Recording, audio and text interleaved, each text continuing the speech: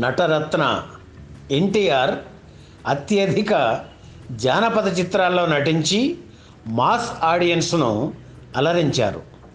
ఆ రోజుల్లో ఏ థియేటర్లోనైనా సినిమా లేకపోతే వెంటనే ఎన్టీఆర్ జానపద చిత్రం వేసి ఆడించేవారు.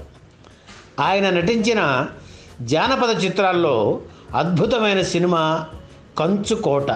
అప్పట్లో వస్తున్న ఎన్టీఆర్ జానపద చిత్రాలకు భిన్నంగా ఇది రూపుదిద్దుకుంది.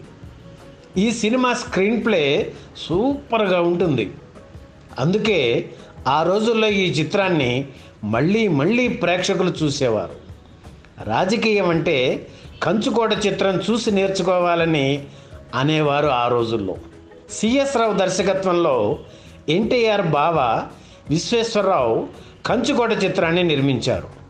ఇందులో ఎన్టీఆర్ కాంతారావు సావిత్రి దేవిక ముఖ్య పాత్రలు పోషించారు.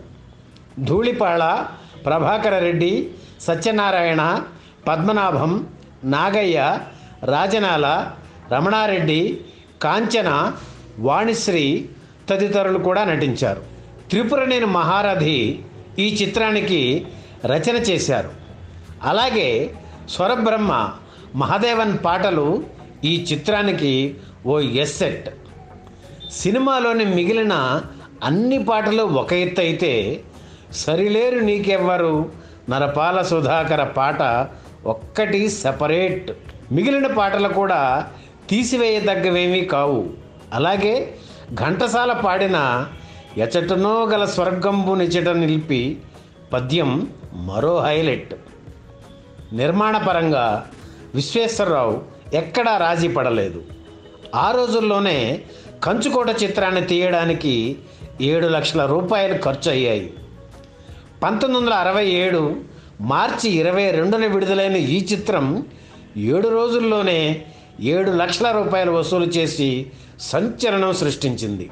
ఇప్పుడు విడుదలవుతున్న చిత్రాలకు రిపీట్ రన్ అనే మాటే లేదు.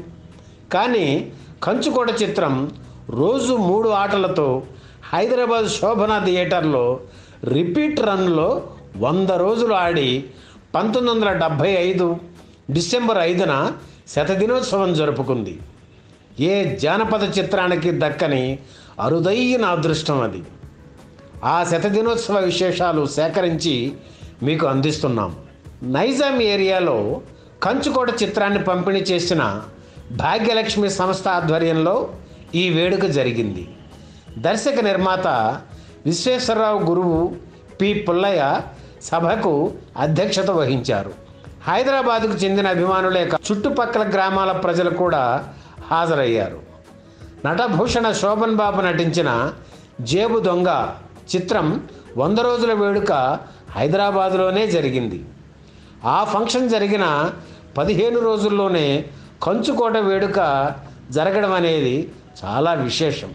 బాలానగర్ పారిశ్రామిక వాడలో ఒక సినిమా వంద రోజుల వేడుక జరగడం అదే ప్రథమం. సరిలేరు మీకెవ్వరు అంటూ కంచుకోట చిత్రాన్ని ఆదరించిన ప్రేక్షకులకు నిర్మాత విశ్వేశ్వరరావు కృతజ్ఞతలు తెలిపారు. హీరో కాంతారావు ఈ సభలో మాట్లాడుతూ జానపద చిత్రాలకు పట్టిన ఏడేళ్ళ శని వదిలి ఇప్పుడు మంచి రోజులు వస్తున్నాయనడానికి కంచుకోట ద్విశత దినోత్సవ నిదర్శనం అన్నారు. దర్శకుడు పుల్లయ్య మాట్లాడుతూ ఎన్టీఆర్తో హీరోయిన్లుగా నటించిన వాళ్ళు అమ్మాల్ములు అమ్మలు అయిపోతున్నారు. ఆయన మాత్రం రోజు రోజుకి కుర్రవాడవుతున్నాడు అన్నారు. మహానటి సావిత్రి మాట్లాడుతూ ఒకే సంవత్సరంలో నేను నటించిన రెండు పాత చిత్రాలు వంద రోజులు జరుపుకోవడం నా అదృష్టం. నాగేశ్వరరావు గారితో నటించిన దేవదాసు రామారావు గారితో నటించిన కంచుకోట ఆరు నెలల లోపే ఈ రెండు చిత్రాలు వంద రోజుల వేడుకలు జరుపుకోవడం చాలా ఆనందంగా ఉంది అన్నారు.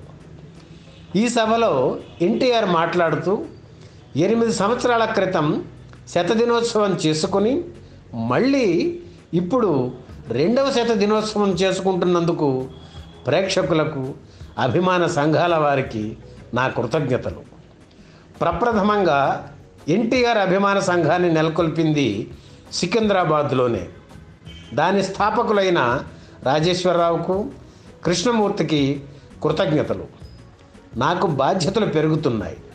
అందరికీ అన్న అనిపించుకోవాలని మెట్టు దిగజారకుండా పైకి పోదామని నా ఆలోచన. నటుడిగా దర్శకుడిగా నిర్మాతగా సాంఘిక ప్రయోజనం కోసం ఏదైనా చేస్తాను. ఇకపై హైదరాబాదులో నిర్మిస్తున్న స్టూడియోలోనే నా చిత్రాలు తీస్తాను అని ప్రకటించారు. ఈ వీడియో మీకు నచ్చితే లైక్ చేయండి షేర్ చేయండి వెంటనే సబ్స్క్రైబ్ కూడా చేయండి.